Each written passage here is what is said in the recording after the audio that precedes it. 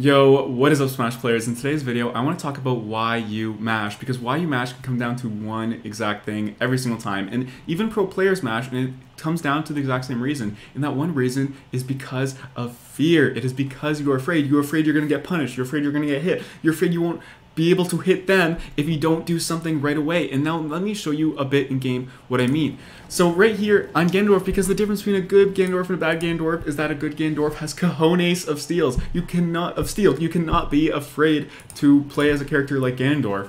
So let me show you a good example. Now, some, okay, bad Ganondorfs, they'll throw, okay, let's say they throw out a dash attack. A bad Ganondorf will actually throw out a dash attack and shield. Or throw a dash attack. Let's say they whiff it, or spot dodge, okay? Because they're they're afraid to get punished. They're fearful of getting punished, okay? But now there's other Ganondorfs who will who will dash attack and then F tilt, okay? Because they'll say, oh, they're gonna try to punish me. I'll I'll kick them first, okay? So I'll dash attack whiff and then I'll F tilt to try to to punish them trying to punish me. Still, there's a bit of fear because you're afraid you're gonna get punished. So it's like, oh, I gotta I gotta hit them away quick. Okay, so they, they cover their burst, they miss their burst option, and they cover it with either a defensive option or another burst option. Those are both a bit fearful, don't you think? Would you say a burst option is quite fearful if you're trying to do it to get out of a sticky situation? Now, what I see good Ganondorfs do is they'll whiff a dash attack and they'll jump up and fair me. because they're not even afraid that I'm going to try and punish them because they play off my fear. You see, they it's like they're Arnold Schwarzenegger. They don't have they don't they don't take shit, they give shit. You know, they don't have the fear, they put fear into me. And I saw I one shielded a Ganondorf dash attack and he jumped back and he landed with fair. You see how slow this startup is? But it was so much more of a juicy ass punish. And he was able to do something that he could space a lot better. Whereas F tilt, if you whiff this, now you're really getting punished because then they have two chances look, they were all ready for this, and then they waited for this. Now that move has high startup, high lag, but this has high startup, low lag. You see, usually you sacrifice lag at the beginning of the move for lag at the end of the move, or vice versa. So if you do dash attack, and then you jump back and fair because you have balls of or you have cojones of steel. Now you just did a spaced aerial that does that's pretty safe. Okay, for Ganondorf it's pretty safe, you know, relatively.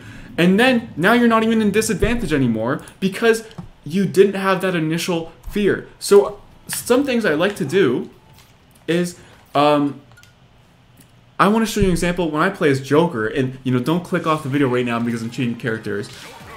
But and I know this seems like small scale, like uh, like this doesn't you feel like okay well i never like Ganondorf dash attack look any situation where you are mashing spot dodge or mashing another move to get people off you that is mashing okay that is called mashing that is not doing the best move for the situation something i love to do as Joker all the time, and I would get so many free kills as Joker, and this applies to anyone. This would be coming off the ledge, because most people, when they come off the ledge, they mash, okay? A lot of people, they'll do neutral get up, F tilt, or, or neutral get up, down tilt. They'll do a burst option, okay? But you know what my favorite ledge option was? And this is how I got like 50% of my kills as Joker. Okay, no, like a good proportion of my fair one kills as Joker. I would do neutral get up into fair one, into drag down, into whatever, okay? The up smash didn't really work there, but um, I, I would do neutral get up, fair one, which is very slow, okay? So the the up smash is inconsistent on character, so I'll do down smash. But you see, when people do neutral get up, who would do a slow look? This this wolf, imagine he's covering neutral get up. You would be scared shitless you're gonna get down smash. But no, if you have cojones of steel, I'll do a slow startup move, but a high reward move, and get the kill like that. Or, even better, some people will roll on and then do F tilt back. But sometimes you gotta roll on, turn around fair one, and do something. Or a lot of people, this is very common, they roll on F smash back because they're not afraid of getting hit in the startup because they have cojones of steel.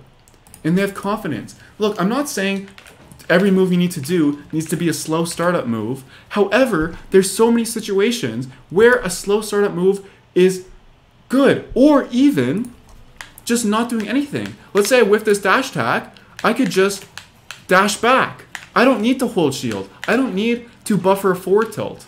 I could just whiff it and then jump back, whiff it, dash back without being afraid I'm gonna get caught because I have the confidence, because I'm not afraid, because I know what I'm doing, because I have cojones of steel. And sometimes you just need to force cojones of steel. So if you ever feel like you're constantly disadvantaged and you're constantly mashing spot dodge, constantly mashing roll, constantly mashing burst options to just try to get out of the suffocation you're in, well, guess what? You are the one putting yourself in that suffocation. And if you just had cojones of steel and for a second you didn't mash spot dodge, you didn't mash a burst option, then you might see, oh wait, I don't need to mash. Oh wait, I have nothing to be afraid of. Because sometimes the best way to get on stage, okay, and this is the last time I'm gonna change characters.